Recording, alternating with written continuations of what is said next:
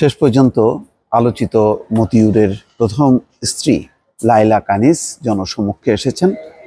তিনি জেলা পরিষদের চেয়ারম্যান হিসেবে বৈঠকে যোগ দিয়েছেন। খবরের শিরোনাম ছাগলকাণ্ড এক সপ্তাহের অনুপস্থিতি শেষে আজ প্রথম কার্যালয়ে এলেন লাইলা কানিজ একটা ছবি দেখা যাচ্ছে, এক সপ্তাহের অনুপস্থিতি শেষে আজ প্রথম কার্যালয়ে মিটিংয়ে এলেন। নরসিংদীর রায়পুরা উপজেলা পরিষদের চেয়ারম্যান লাইলা কানিস। অন্য কোনো সময় হলে কিন্তু এই খবরটা কোনো গুরুত্ব পেত না। বহু মিটিং নিশ্চয় করেছে লাইলা কানিস, কিন্তু আজকে নানা কারণে আলোচিত। কেননা তার পরিবারের বিদেশে যাওয়ার উপর নিষেধাজ্ঞা এসছে এবং সম্পত্তি খোঁজা হচ্ছে। এগুলোর মধ্যে কতগুলো লিগাল আর আনলিগাল সেই তদন্ত শুরু করেছে দুদক। খবরে বলা হচ্ছে লাইলা কাণ্ডে আলোচিত রাজস্ব কর্মকর্তা মতিউর রহমানের প্রথম স্ত্রী নরসিংদী রায়পুরা উপজেলা পরিষদের চেয়ারম্যান। লাইলা কানিজ এক সপ্তাহের অনুপস্থিতি শেষে বৃহস্পতিবার প্রথম কার্যালয়ে এসেছেন। দুপুর বারোটার দিকে উপজেলা পরিষদ কার্যালয়ে কালো রঙের একটি গাড়ি থেকে নেমে সরাসরি সভায় অংশ নেন তিনি। উপজেলা নির্বাহী কর্মকর্তা ইয়েনো ইকবাল হাসান এই সত্যতা নিশ্চিত করেছেন। তিনি বলেন, উপজেলা পরিষদ চেয়ারম্যান লাইলা কানিজ আজ অনুষ্ঠিত দুটি সভায় অংশ নিয়েছেন। এছাড়া তিনি বিভিন্ন ইউনিয়ন পরিষদের চেয়ারম্যান ও দলীয় নেতাদের সঙ্গে ঈদ পরবর্তী কুশল বিনিময় করেছেন। এটা তার সাহসিকতা, নিঃসন্দেহে। ঈদের দুই দিন আগে সর্বশেষ অফিস করেছিলেন লাইলা কানিজ। ছাগলকাণ্ডের ঘটনা দেশব্যাপী আলোচিত হওয়ার পর থেকে তিনি গোপনে ছিলেন। তাকে কোথাও দেখা যাচ্ছিল না, মুঠোফোনে কল করেও পাওয়া যাচ্ছিল না, এমনকি তিনি কোথায় আছেন তাও কেউ বলতে পারছিলেন না। স্থানীয় সেবা প্রার্থীরা তার কার্যালয়ে এসে সাক্ষাৎ না পেয়ে ফিরে যাচ্ছিলেন। তিনি ঠিক কবে থেকে অফিস করবেন তাও জানাতে পারছিলেন না উপজেলা পরিষদের কর্মকর্তারা।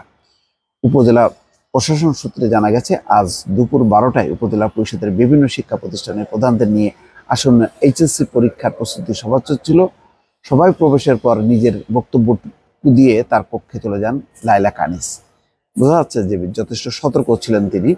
এই সময় কয়েকজন ইউপি চেয়ারম্যান ও আওয়ামী লীগ নেতা তার পক্ষে অপেক্ষা করছিলেন। তাদের সঙ্গে ঈদ পরবর্তী কুশল বিনিময় করে বেলা পৌনে একটার দিকে আরেকটি মিটিংয়ে অংশ নেন তিনি। আসন্ন বঙ্গবন্ধু ফুটবল টুর্নামেন্ট সম্পর্কিত আয়োজন সম্পর্কিত প্রস্তুতি সবাই বিভিন্ন প্রতিষ্ঠানের শারীরিক শিক্ষা বিষয়ের শিক্ষকরা উপস্থিত ছিলেন। ওই মিটিংয়েও নিজের বক্তব্যটুকু দিয়ে বেলা ঠিক একটার দিকে বেরিয়ে কালো গাড়িতে করে চেপে কার্যালয় ত্যাগ করেন লাইলা কানিস। দুটি মিটিংয়েই সভাপতিত্ব করেন ইয়নো ইকবাল হাসান। আচ্ছা কার্যালয় থেকে বেরিয়ে যাওয়ার সময় সাংবাদিকরা লাইলা কানিসকে একের পর এক প্রশ্ন করছিলেন। কোনো জবাব না দিয়ে তিনি আরেকটি মিটিংয়ে অংশ নিতে যাচ্ছেন বলে গাড়িতে উঠে পড়েন। এ সময় সাংবাদিকরা জানতে চান, কখন কথা বলবেন? এই প্রশ্নেরও তিনি উত্তর দেননি। যাই হোক, বোঝাই যাচ্ছে যে তিনি আপাতত উত্তর দেওয়ার অবস্থায় নেই। দেখা যাক এখন সরকার তার তদন্ত কাজে কতটুকু এ করেন। এবং এখানে কিন্তু একটি খবর এসছে যে তিনি সরকারি কলেজের মানে সহযোগী অধ্যাপক ছিলেন সরকারি তিতুমির কলেজে।